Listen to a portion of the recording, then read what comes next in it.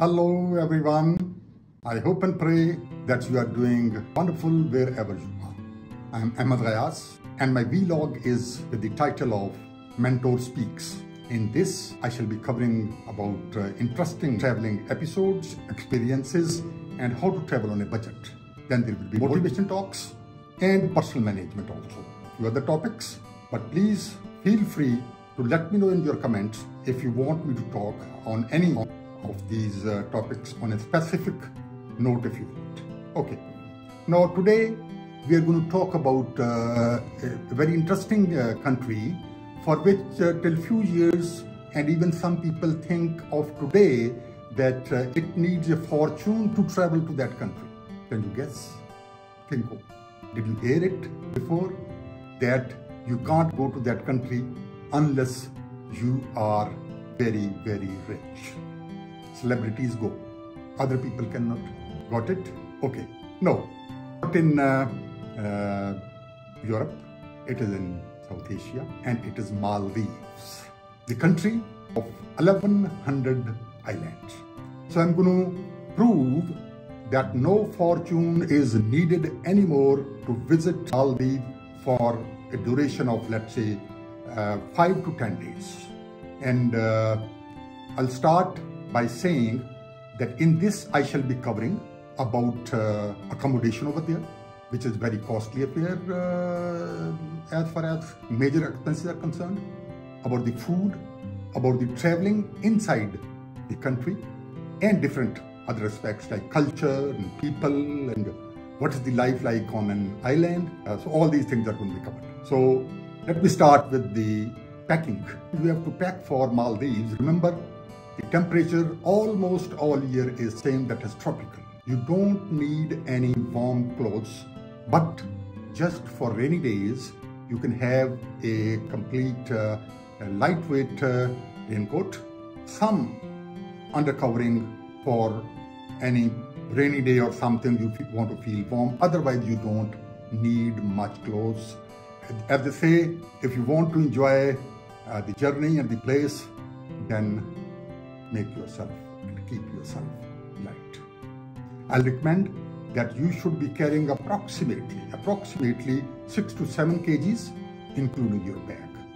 This I'm telling you out of my experience, and it is doable. Right? But when you don't have to carry much clothes, and heavy clothes, and warm clothes, and uh, coats or overcoats or something like that, one aspect is already covered that it will be lightweight. And uh, as per my experience, you should not book the luggage. If you're traveling, traveling for a joy, imagine you have booked 18 or 20 kg suitcase and when you reach the destination after having transit flight at one or two places and you find out that your luggage has not been received and they say sorry we are in in coordination and you will receive it in next one to two days. Where is the joy you might be having some important medicine or something like that. Certainly it's important. That's why you are carrying it. So the taste goes sour please travel with your hand carry that is trolley bag cabin size only. Yes do have a pouch which you wear across uh, your neck the cross crossover and in that you can have the small little things. Trouser preferably should be multi-pocketed so that you can put uh, some coins or some uh, some passport or thing and you know that everything is not stuck at one place islands also next is uh, remember on right side you will be you will be putting uh, the money matters and on left side it will be your passport immigration and other documents. So multi pocketed traveling trouser is recommended. This is as far as uh, traveling concerned from wherever you are coming that we will talk about later but here i am assuming that you have landed on to the capital that is Male and you are good to go around remaining islands. When you will, when you will be landing, you will watch that Male, the capital itself is an island, right? And it is surrounded by on north and south, east and west, it is surrounded by other.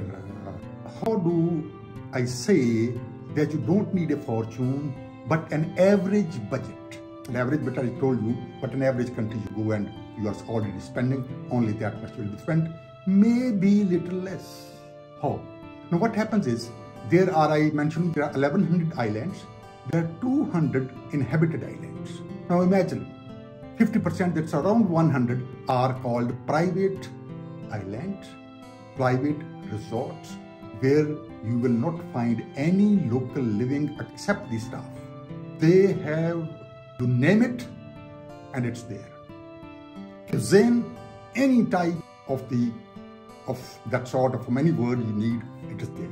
Nobody is bothering you, it's quiet, you want to cycle around, you want to snorkel, you want to diving, you want to fishing, or you want to do anything, that resort will take care. But then it's very, very. Even to reach some of the resorts, you will take seaplane from um, near the Maldives. They will come on a seaplane, collect you, and take you on the, the island. No more.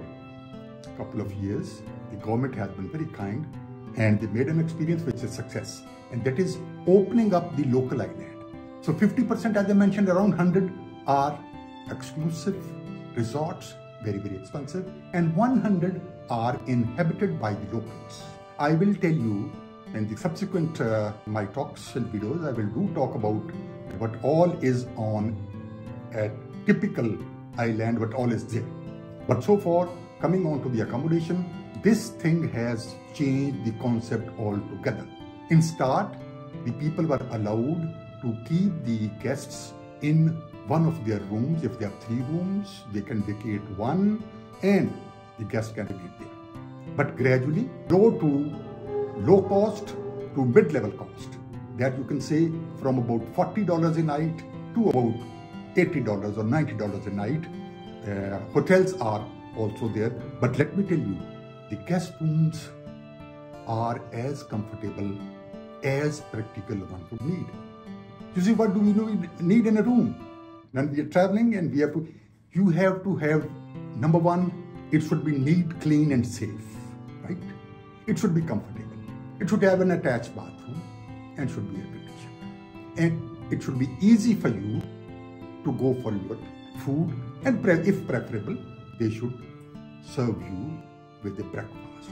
And mind you, maximum packages over there are inclusive breakfast.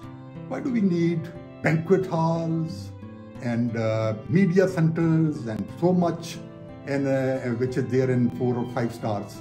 So this, I have told you the range and uh, people have also, uh, the locals have also added one or two rooms which they rent. So it is part of their houses also, which is absolutely separate and they have built small little two to three room guest room also and there are hotels have also come up, which are, uh, uh, last time what I watched was, the maximum it was about six stories. Otherwise there used to be two or three stories only. So this is accommodation. So the main matter gone. Foods are not costly. They are very tasty. And you see, uh, it is best to have the cuisine and go with the local culture. So what you can find very conveniently is the food which are fish based, right? They do prepare uh, bread and uh, so many other things. The coconut is used quite commonly in their different dishes and uh, fish. Fish is as fresh as they have just caught it from the sea. Hey, my dear viewers, my minute body clock tells me if I speak a couple of more minutes, you are getting cut bored. Yes. So what do we do? I will tell you that uh, what I'm going to talk in the coming videos and then we will wind this video up. In the coming videos, I will be covering what all activities you can carry out on the island and off the island. How would you travel from one island to the other? What are the means available and what is the most, you can say least expensive and what is the most expensive. I'll uh, give my recommendation also, what I have been doing. We will talk with the geography of uh, uh, Maldives, and uh, the culture as I mentioned. Uh, so till uh, next time, please take care of yourself and your near and dear ones.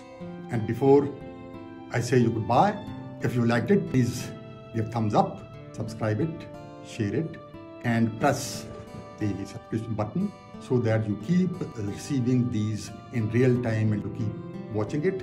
For next, very soon will be coming. Thanks.